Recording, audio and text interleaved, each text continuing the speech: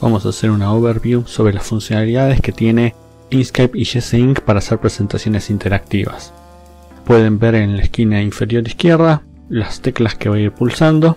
En este caso puedo avanzar la presentación con el clic del mouse o con las flechas izquierda y derecha o la barra espaciadora.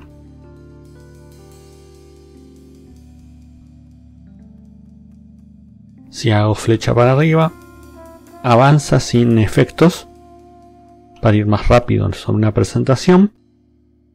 Puedo hacer inicio para ir al principio y fin para ir al final. Además de los comandos básicos para navegar en la presentación, G-Sync tiene otras funcionalidades quizás no tan conocidas pero que son muy prácticas.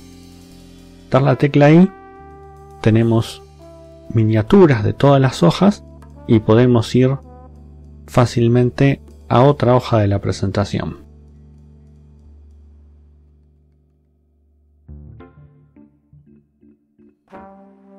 Otra funcionalidad que está incluida dentro de G-Sync es el modo dibujo. Si presionamos la tecla D, tenemos un trazo para dibujar. Si queremos borrarlo, presionamos la tecla Z.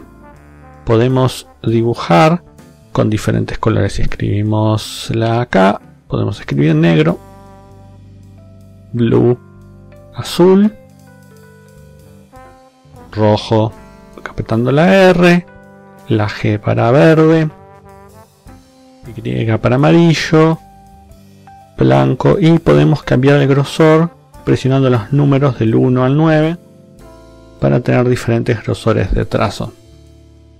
Si apretamos escape, volvemos al modo presentación y los trazos quedan. Si vamos a la tecla D, presionamos la Z varias veces y se borra todo.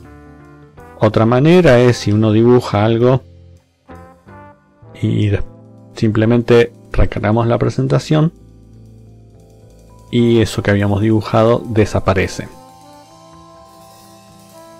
La idea es empezar a hacer una guía sobre cómo preparar la presentación y algunos recursos básicos para generar presentaciones eh, con un diseño basado en Material Design.